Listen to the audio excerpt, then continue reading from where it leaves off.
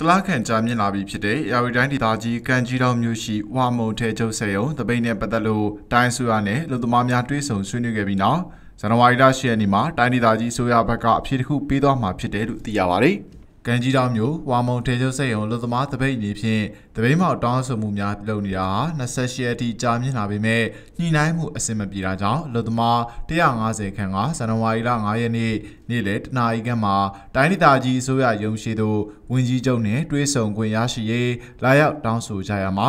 ဝန်ကြီးချုပ်မှာခီးလွန်နေတာကြောင့်ဝန်ကြီးချုပ်ကိုစားလျှက်စစ်စွမ်းအင်စက်မှုလက်မှုနဲ့လမ်းမဆက်သွယ်ရေးဝန်ကြီးဦးဝင်းတေစီမံကိန်းနှင့်ဗန်နာရေးဝန်ကြီးဦးထေဝင်းနဲ့လူဝင်မှုကြီးကြပ်ရေးနဲ့လူစွမ်းအရင်းမြစ်ဝန်ကြီးဒေါက်တာစိုးဝင်းတို့ကပသိမ်မျိုးအေယာရွှေခမ်းမမှာအလုသမားခေါင်းဆောင်ဆဲဦးကိုလက်ခံတွဲဆုံခဲ့တာဖြစ်တယ်လို့သိရပါတယ်။အလုသမားတွေနဲ့တွဲဆုံခဲ့တဲ့ကြားထမ်းနဲ့ပတ်သက်လို့လူဝင်မှုကြီးကြပ်ရေးနဲ့လူစွမ်းရင်းမြစ်ဝန်ကြီးဌာနဝန်ကြီးဒေါက်တာစိုးဝင်းကအခုလိုပဲပြောပါတယ်။ အခုတစ်ခေါက်ကတော့ဒီအစိုးရဖွဲ့နေတယ်နော်။ဒီတကယ်ပိုင်ကျတော့မဖြစ်မနေနော်။သူ့ကိုရအောင်ဆိုပြီးတော့အခုဒီရသေးသေးတယ်နော်ပြည့်တဲ့ဆိုဒီအခုဒီနေ့9ရက်ပေါ့နော်6ခု2ရက်နော်6ခု2ရက်အတွင်းမှာနော်သူတို့ရှိအကြောင်းပြန်နေလို့ဆိုတော့ကျွန်တော်တို့ဒီပြတဲ့အဲ10ရက်နေ့နော်ဖွင့်တကယ်ဒုဖွင့်ရတာခွန်အဲ့တော့နော်အဲ့တော့မနေ့ကနေ့စဆက်တယ်နဲ့ခုနေ့နေ့ဆက်တယ်ဟုတ်လားဒီ10ရက်နေ့ ညနေကိုနော်သူတို့ဒီလုံမအခုတပိတ်မော့တဲ့အဖွဲ့ရှိတယ်နော်ထူးခြားတဲ့သတင်းတစ်ခုနော်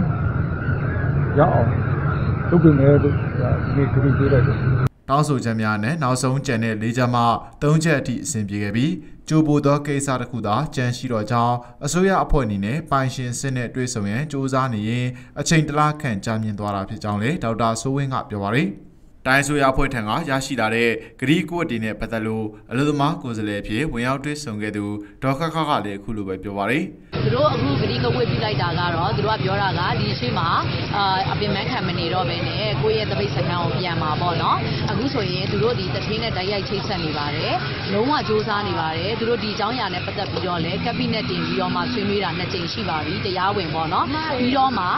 ဒီလိုမျိုးကိုယ့်အချင်းချင်းပေါ့နော်ဒီလိုမျိုးအလွတ်သဘောဆွေးနွေးညှိနှိုင်းတာဆိုတာလည်းအချိန်ချင်းဖြစ်နေပါပြီပေါ့ဒါကြောင့်မို့လို့အခုအချိန်နေဟာဆိုရင်ဖြင့်ဒါတထေးပိုင်ရှင်တထေးတရုတ်နဲ့ကိုယ်တိုင်စကားပြောရမယ့်အချိန်နေဖြစ်နေပြီပေါ့နော်အဲဒီအဲ့ဒါကြောင့်မို့လို့ကျမတို့၈ရက်နေ့ထိစောင့်ပါ၈ရက်နေ့မှာ